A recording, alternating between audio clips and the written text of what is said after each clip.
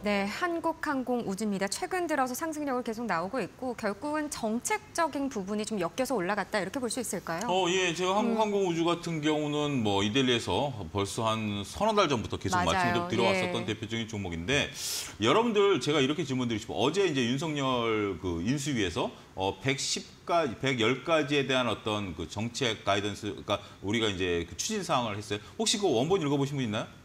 그거 한번 읽어보셔야 돼요. 예, 여러분 예. 투자자라면 꼭 읽어보셔야 됩니다. 근데 그게 어, 글자가 크고 굵직굵직하게 돼 있으니까 어렵 보기가 어렵지 않아요. 더군다나 어, 우리가 이제 뭐 정책 과제라든지 뭐 이런 어떤 뭐 정치적인 거 다 빼고 나면 제가 볼 때는 한 절반 정도는라고 봐야 돼요. 그러니까 저도 어제 꼼꼼히 밑줄 치면서 봤는데 어, 한 시간 반 정도 걸렸습니다. 그 정도 투자하셔야 됩니다. 어, 여러분들 못 보셨다면 이번 주말에 꼭 보시고요. 왜냐하면 제가 왜 그 이야기를 드리냐면 정책 관련주들도 벌써 희비가 엇갈리는 것 같아요. 지금 얘기를 들어보면 어, 뭔가 강하게 밀어붙였습니다만 약간 후퇴되는 게 음. 도 있고 어, 그다음에 좀 뜬구름 잡는 얘기도 좀 있고 원전 같은 경우 지금 어, 현실적으로 빨리 못한다라고 시인을 했어요. 일단 어, 3, 4억이 제가도 하지만 시간이 걸리니까 먼저 발주하겠다라는 둥. 예. 그다음에 우리가 뭐 플랫폼에 대해서 규제를 하지만 어, 실질적으로 어렵다라는 둥. 뭐 이런 얘기가 나와요. 근데 음. 그 중에서 강하게 밀고 나가는 것 중에 하나가 우주항공 테마다. 이쪽에 대해서는 어차피 뭐 정부 조직법이라는 게 어, 현 정부 이전에 통과가 돼서 우, 우주항공청이 생기기 때문에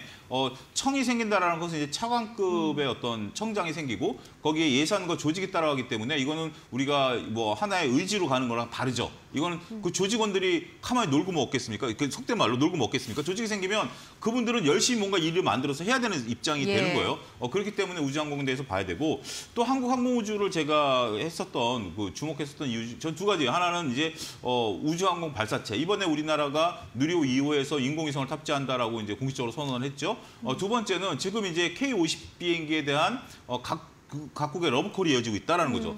어, 과거에는 가성비 대비해서 우리가 이제 러시아 비행기랑 이제 서로 입찰 경쟁에 들어갔는데 러시아가 이제 전범 국가가 되다 보니까 어, 비행기를 수출할 수가 없어요. 예. 어, 그러다 보니까 우리 K50 비행기에 대한 어떤 어, 전반적으로 어, 비교 우위가 드러나고 있다라고 보는 거죠. 더군다나 제가 한국 항공우주 쪽에 이제 어, 집중하는 이유는 지금 여러분들 주식할 때 여러분들 일반인들이 가장 하는 게 뭐죠?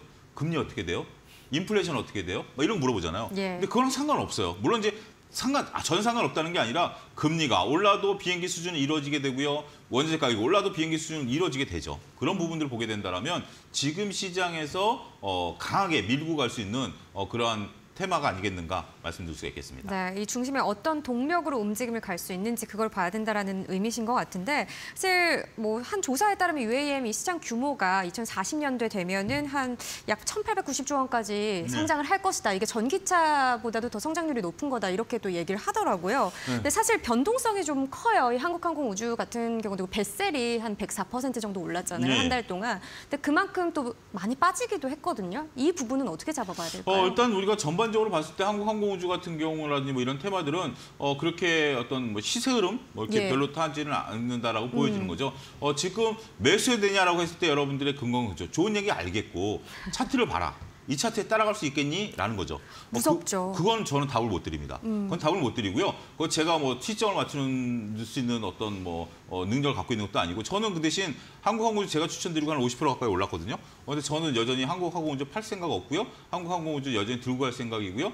그리고 지금 한국항공우주 제가 들, 들고 있는지 어, 불과 한 몇 개월 안 됐기 때문에 예. 아직 저는 뭐 한국항공우주를 팔 생각 없다. 이 정도로 좀 정리해드릴 수가 있겠습니다. 그러니까 그러면 모멘텀이 있다 이렇게 보시는 것 같은데. 그렇습니다. 기노브로 봐요. 지금 아직 미사일도 음. 그 우리나라가 이번에 어, 달 아니 저기 인공위성 발사한 다음에 예. 달 궤도위성 발사하죠. 그 다음에 이제 수주 소식이 이제 수주 가능성에 대해서 들리고 있죠. 음. 그 다음에 이제 다양하게 앞으로 여러 가지 얘기가 나올 텐데.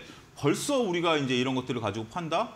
글쎄요, 저는 뭐 아직까지 저는 이게 하나에 이건 제 지금 뇌피셜입니다만 예. 템버가 될 가능성이 높은 주식 중에 하나가 아니겠는가 음. 말씀드릴 수가 있겠습니다. 네, 보유자적 관점으로 좀 얘기를 해주셨는데 신규로 진입을 하고 싶다고 하더라도 약간의 조정이 나오면 지금부터도 분할 매수 가능하다. 분할은 충분히 가능합니다. 거군요. 음. 왜냐하면 제가 팔 생각이 없기 때문에 어 뭐 입장에서 본다라면 어 이 물량들이 그러니까 그런 거죠. 예. 가치 투자자는 언제 주식을 사야 되냐면 일반인들이 어, 두려울 때 가치 투자는 사는 음. 거예요. 지금 여기서 만약에 차트를 보고 못 사겠다, 그럼 가치 확신이 없는 겁니다. 예. 가치 확신이 있다라면 차, 그 이번에 워렌 버핏이 버크셔에서 주총을 했는데 금이 차트 갖고 얘기하나요? 가치 갖고 얘기하나요? 여러분들이 어떠한 투자자인지 한번 고민해 보셔야 되지 않을까 말씀드릴 수가 있겠습니다.